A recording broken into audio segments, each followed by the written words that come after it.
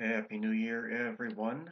Um, wanted to do a quick video here, kind of going over the new Retail Essentials point of sale software. Um, you know, there's, there's, in the US alone, there's about 38,000 stores using the Microsoft Dynamics RMS or Retail Management System Store Operation point of sale program, and some of them also use the headquarters module. And of course, that program is end of life and a lot of everybody's been kind of anxiously waiting for what will come out for the replacement. So we don't have a lot of details, but I thought uh, at least I would share with you very quickly what I know about Retail Essentials, what I don't know, and kind of what's subject to change. And I'm going to go through this kind of quick because I know I've been getting so many calls and emails about this, um, not just from existing RMS and HQ users, but also from uh, folks who are looking for a point of sale solution. We need to know if this is going to be something that is uh, a viable solution.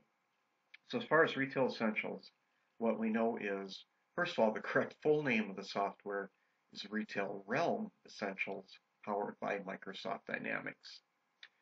So basically, Retail Essentials is going to be sold and supported via trained or certified Dynamics partners, and it will be actually be distributed by Retail Realm, which course, currently distributes the uh, Dynamics RMS point of sale solution.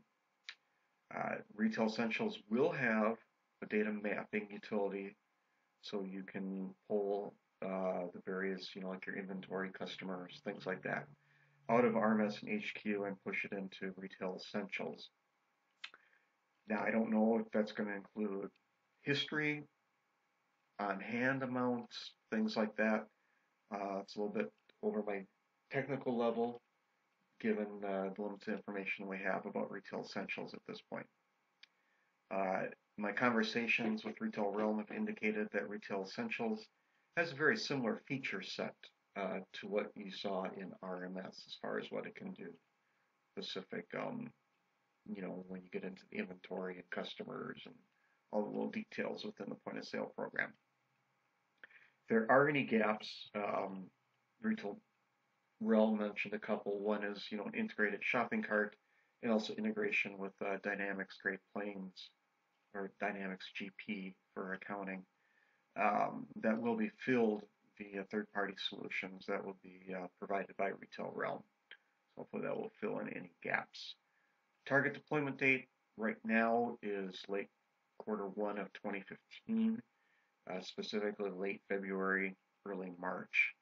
Obviously, that only gives us, this is early January right now, so it doesn't give us a lot of time to get uh, partners trained. Uh, so we'll see how that date holds together. And as many folks already know, uh, especially the larger places using Dynamics RMS and HQ, basically this Retail Essentials is kind of like a, a point of sale only version of Dynamics AX. So, you know, the accounting and all the other functions in AX are turned off, and you just get kind of a core point of sale solution. So here's what we don't know. Um, obviously, price. Another big one is the license structure. You know, uh, with RMS, there, there was a huge advantage in that you were only buying lanes to use for for selling for the point of sale module. And so I, you know, some of the places I've worked with, they've got 10 plus copies of the manager running, and you don't need to buy a license for that. So, you know, there's a huge cost advantage with RMS and HQ over, um, you know, programs like, like NCR Counterpoint. We also don't know, you know, there are rumors flying around about this whole license swap option where RMS and HQ users can do a one for one license swap or upgrade to go to Retail Essentials, we don't know. That, has not yet been verified. Uh, I will say if that does happen, it's only going to be available to folks who are current on a maintenance agreement for their RMS and HQ solution. So if you haven't been, you know, staying current on your maintenance agreement each year, then it, it's a new point. Uh, don't know hardware and peripheral compatibility. You know, is it going to work with the same, you know, RMS was heavy on the OPOS drivers. It's going to work with that same set of hardware and peripherals. Uh, I've put an urgent request out for who's actually, you know, going to sign on to be a Retail Essentials partner. You know, be, uh, to be certified and uh, trained to sell and support the program. And we don't know what the hardware and OS requirements are uh, as far as the actual, you know, computer guts and server requirements and things like that. Some things that are kind of subject to change related to retail essentials. The uh, initial indications are there's going to be six to 10 Dynamics partners in the US that will sell and support retail essentials. It's going to be targeted towards small chains, you know, somewhere between 2 and 24 locations. Uh, targeted towards businesses with internal IT resources. This isn't a, a do-it-yourself program. Um, it's not designed for single store locations or you know smaller museums, places like that. It sounds like it's just going to be too intensive and probably too cost prohibitive.